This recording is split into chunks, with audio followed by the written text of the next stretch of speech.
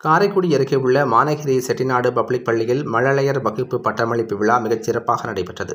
பள்ளி முதல்வர் விஷாகுமாரி வரவேற்புரை நிகழ்த்தினார்.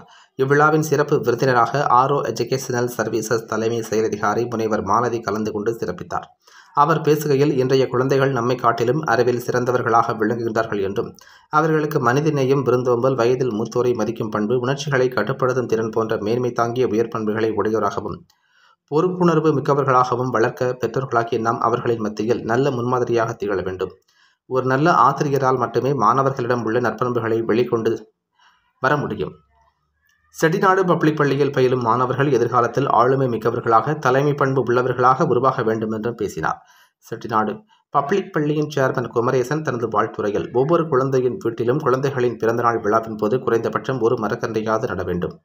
நமது குழந்தைகள் வளர்வதைப் போலவே தாம் நாம் நட்டு வைத்த மரமும் நாள்தோறும் நன்கு வளர வேண்டும் என்றும் குழந்தைகள் வருடா வருடம் தாம் வளர்த்து வரும் மரக்கன்றுகளோடு சேர்ந்து நிற்கும் புகைப்படத்தை பள்ளி நிர்வாகத்திடம் ஒப்படைக்கும் பட்சத்தில் உரிய மாணவர்களுக்கும் அவர்களுக்கு உறுதுணையாக இருந்த பெற்றோருக்கும் பள்ளி கல்வியை முடித்து வெளியேறும் போது பள்ளி நிர்வாகத்தின் சார்பாக சான்றிதழ் மற்றும் பதக்கங்கள் கொடுத்து பாராட்டு விழாவின் வழியே கௌரவப்படுத்துவார்கள் என்றும் பேசினார்.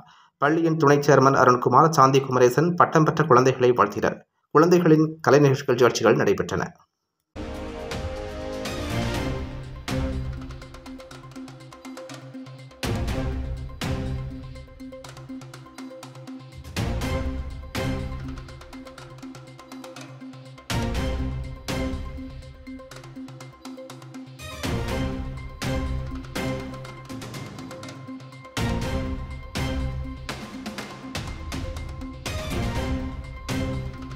காரைக்குடி நியூஸ் த்ரீ சிக்ஸ்டி இணையதள தொலைக்காட்சியை லைக் பண்ணுங்க ஷேர் பண்ணுங்க.